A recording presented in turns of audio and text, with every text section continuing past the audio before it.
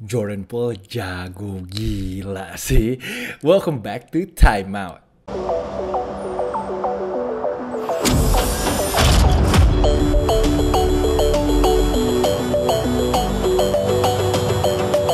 Balik belum Guru Padilla, kita kembali lagi ke info basket harian edisi 19 April 2022 Time out geng, main nih banyak yang nanyain Kok Rocky kayak gak semangat ya bikin time out sekarang?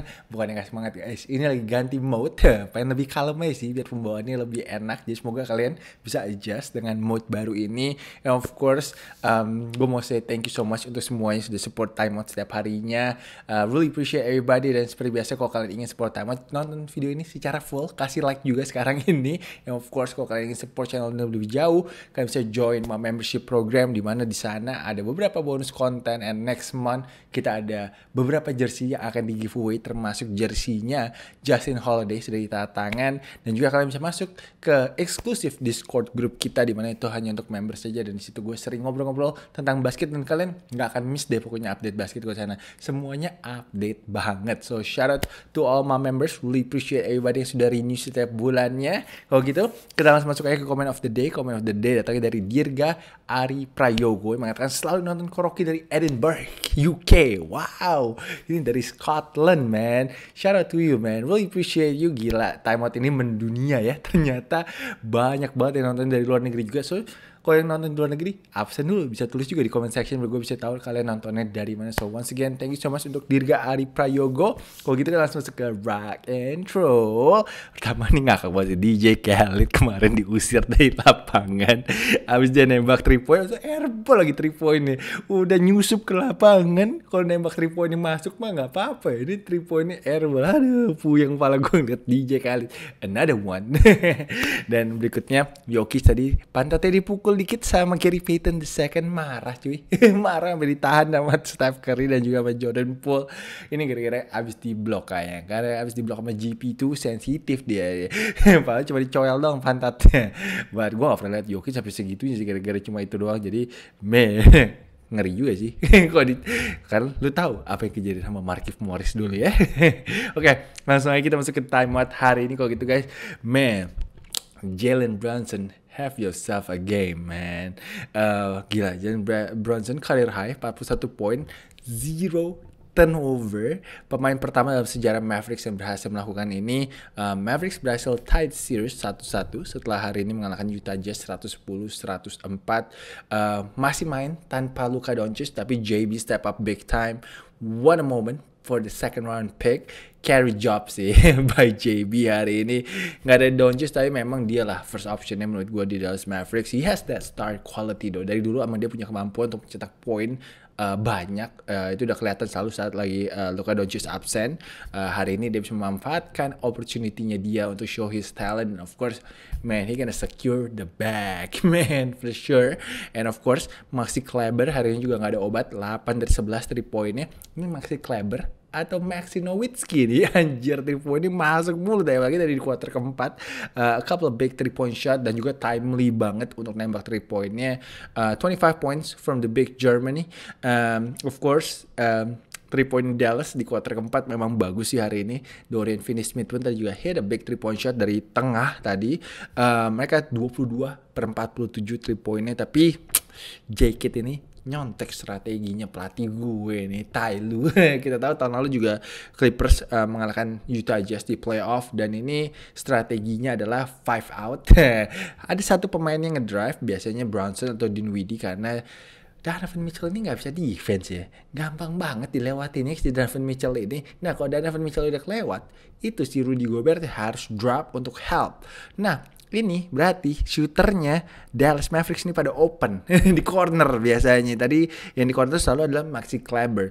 Jadi ini adalah strategi yang tadi belum di quarter keempat digunakan terus sama si Jason Kidd dan itu berhasil banget because the Jazz cannot stop that and pertama mau bilang ya horrible perimeter defense sih dari Jazz ya apalagi si Donovan Mitchell gue bilang um, ada yang bilang tadi Donovan Mitchell dan juga guard lainnya Utah Jazz tuh kayak traffic cone. Diem aja di tempat. Nggak jaga ngakak gitu tapi udah udah setahun last season pun juga nggak jadi pelajaran untuk Quinn Snyder and the Jazz. Um, ada fansnya Jazz nggak sih di sini? Kalau ada fansnya Jazz? Komen di comment section di bawah. Gue yakin ini pasti pada kesel banget sih sama boy Donovan Mitchell. Donovan Mitchell play not bad. Apalagi dia 34 poin, 13 dari 30 tadi tembakannya. Nah, tapi tembakannya itu terakhir-terakhir yang gak masuk itu saat lagi clutch.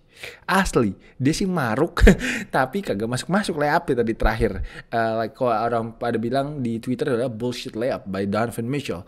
Um, dia tadi kalau gue mendingan kasih ke Boyan sih. Boyan was playing pretty well, 25 poin, 9 dari 15 tembakannya. Tadi di kuarter keempat pun ada beberapa tough shot yang dia bisa masukin, tapi me gue kalau jadi pemain manager juga kesel sih sama si Donovan Mitchell. They gotta let him know man. They gotta let him know to pass the ball. And Jordan Clarkson juga hari ini jago sebenarnya. Tadi babak pertama bikin ngeri Dallas Mavericks juga. Dia 21 poin off the bench. Sayangnya dari Mike Conley hari ini 0 poin and by the way gue sebelum lupa Mavericks hari ini hanya 3 turnover aja dan itu sangat membantu banget untuk mereka menang hari ini. Um, game ketiga akan dimainkan tiga hari lagi. Tapi feeling gue uh, Luka Doncic kayaknya akan diistirahatkan sih kayaknya nggak akan dimainin dulu sampai dia 100% gue feeling gue kayak game keempat nanti baru main si Luka Doncic. Kan kalau Luka Doncic main I think it's it's a rap bro. It's a rap oke okay, berikutnya Splash Brother dan member terbaru harus diinisiasi cepet-cepet sih. Jadi Splash Brother juga yaitu Jordan Poole they're just unfair man. Unfair. Banget menurut gue untuk scoring the ball. Uh, Warriors take a 2-0 lead uh, setelah hari ini menang 126-106 atas Denver Nuggets. Believe me man the game was lebih jauh daripada itu sebenarnya skornya. Tapi man anggota terbaru Splash Brother namanya bisa pas banget ya. Pool pool party uh, Steph 34 points uh, in 22 minutes off the bench. Dia gue seneng ya gue respect banget sama Steph Curry. Nggak semua superstar. Carmelo Anthony jagoan gue ya nggak bisa dulu menerima peran dari bench. Jadi menurut gue ini wow, I have a whole different level of respect untuk Steph bisa melakukan ini. And look at Steph man, so inspirational. 34 poin 22 menit and he is a plus 32 man. That was just incredible menurut gue untuk si Steph Curry and Jordan Poole 29 points. He was doing everything uh, menurut gue Jordan Poole ini adalah cloningan. Cloningannya Steph Curry. Karena Manny mirip banget menurut gue. Manny mirip banget dari gayanya selebrasinya showmanshipnya pun juga menurut gue mirip banget sama si Steph Curry. And he had 8 assist juga hari ini. Uh, I think itu adalah masih bagian dari gamenya Jordan Poole yang underrated yaitu his passing game. Lo kok tadi lihat beberapa kali dia ada behind the back pass ada beberapa connection juga dengan belly. Uh, tadi yang terakhir yang tangan kiri itu keren sih menurut gue sih passingnya sih. And yeah he's shooting really well too 10 dari 16 uh, dua steal. So basically uh, menurut gue dia adalah cloningannya Steph Curry and he will get that max contract from Joe Lacob. Menurut gue sih. Jadi uh, man Jordan Poole ini mungkin dia juga marah kali ya. F your MIP nominees man. Dia nggak masuk finalis man. Gue shock banget dia nggak masuk ke finalisnya si MIP kan menurut gue deserving banget. Kalau tahun lalu tuh dia di NBA G League kan ya sama Jalen nih sama Jeremy Lin and then dia tahun ini bisa jadi starter. Saat Steph cedera dia bisa menggantikan perannya. So I think much deserving banget untuk dia masuk ke finalisnya si MIP gue gak ngerti kenapa jamoran yang ada di sana sih. Asli pusing banget pala gue. Jamoran ada di sana. Oke okay, gue sampai mana nih? Oke okay, Clay Thompson. Hari ini 21 poin. Clay Thompson also solid uh, from the court. And of course semua orang ngomongin tentang uh, the dead lineup, the five uh, stars yaitu Jordan Poole, Steph Curry, Clay Thompson, Wiggins, and Draymond Green. Ini menurut gue adalah lineup yang perfect banget karena kalau kita breakdown ada tiga shooter dan ada dua defender. Uh, jadi itu benar menurut gue uh, perfect banget kombonya. Ada yang main defense ada yang main offense dan of course Draymond Green hari ini defense-nya menurut gue nothing but amazing on Nikola Jokic. Sampai Nikola Jokic stress banget frustasi banget sehingga dia sampai di ejected di pertandingan ini. Uh, Mike Malone berharap di game berikutnya Nikola Jokic lebih bisa lebih control uh, untuk frustra frustrationnya dia.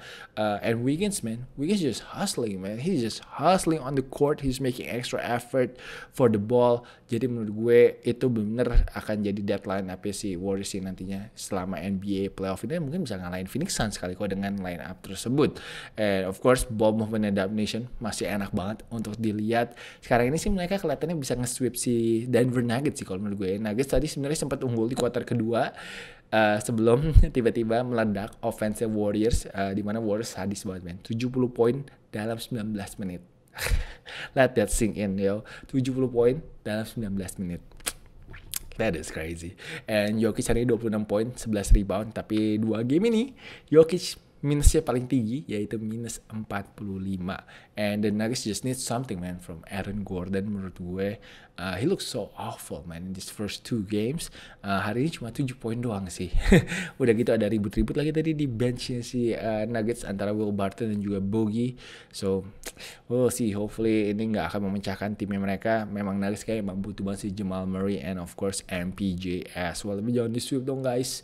Please jangan di sweep Nuggets karena gue game kelima mau ke Center kalau bisa. So udah beli tiket pesawatnya ke ini sih. Udah beli tiket pesawatnya ke San Francisco. So hopefully it will happen still ya. Semoga itu menang satu game lah Nuggets. Oke okay, berikutnya Raptors masih nggak ngelawan uh, lawan Philly di mana hari ini skornya jauh 112-97 Embiid led the way dengan 31 poin dan juga 11 rebound. Achiwa and Cambridge had no chance untuk jaga Embiid. And of course The young guy show up again yaitu Tyrese Maxey 23 poin, 9 rebound dan 8 assist tapi gue paling impress itu bukan offense-nya si Tyrese Maxey tapi bagaimana dia bikin si Fred VanVleet capek. uh, Fred VanVleet pertama-tama 15 poin. 15 poin langsung dia ngegas tapi defense si uh, Tyrese Maxey lu tau lah ya. Tyrese Maxey juga tenaganya nggak ada habis-habisnya, high energy banget dia benar wah bikin si Fred VanVleet itu energinya habis sehingga dia nembaknya akhirnya 7 dari 23 di pertandingan ini. Jadi itu menurut gua uh, apa ya uh, gue impress banget dengan defense si Tyrese Maxey. And baru dua game main playoff baik orang yang bilang kayaknya lebih jago daripada Ben Simmons. And Harden mainnya masih nyantai kayaknya. Harden 14 poin 6 assist and Danny Green hari ini ngedang boy. Kata Embiid eh, harus di drug test harus di drug test tuh besok. But yeah Danny Green ngedang itu kind of sum up the game how it went today. And Doc made the right decision. Orang-orang pada muji Doc yang memainkan Paul Reed instead of DJ karena kalau DJ kayak udah cuma jalan kaki doang sih nggak ngapa-ngapain di lapangan. And Paul Reed lebih bagus sih emang opsinya um, berat sih tapi memang Raptors ini sih kalau nggak ada si Scotty Barnes and of course Gary Trent juga hari ini sakit. Uh, dia sempat main sebentar tapi man he was just one step behind uh, of everybody.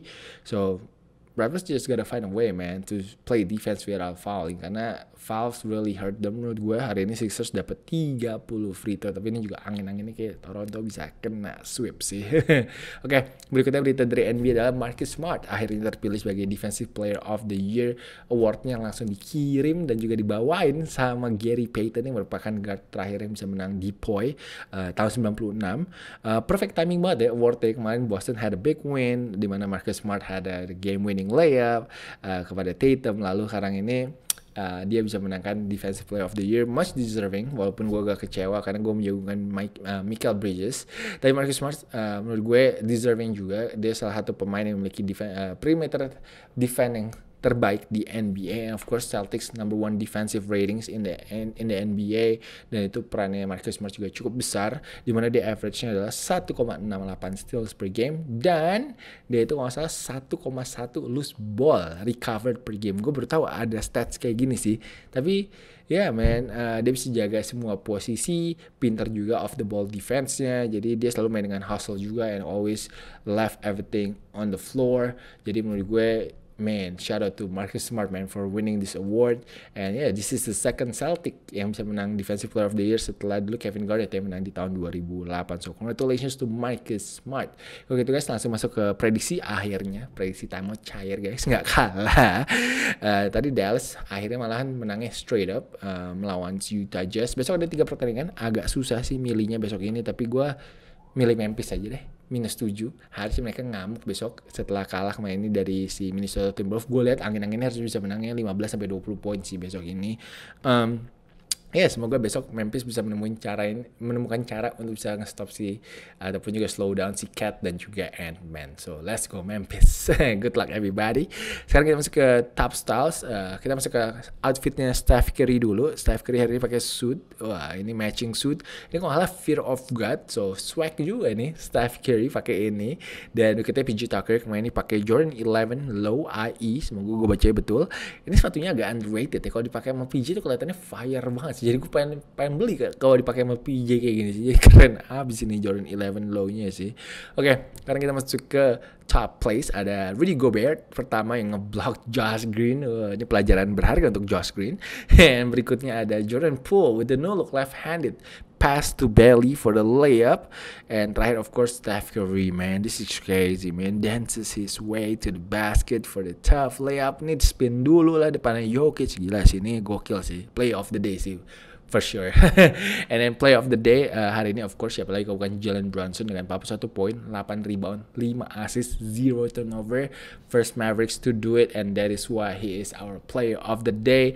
Uh, yeah, timeout geng. Kita udah ada di akhir timeout. Thank you so much yang sudah menonton hingga full. Uh, yeah man, thank you so much for always supporting this channel of course. Uh, jangan lupa untuk like, jangan lupa untuk comment and I will see you guys again very soon. Peace out.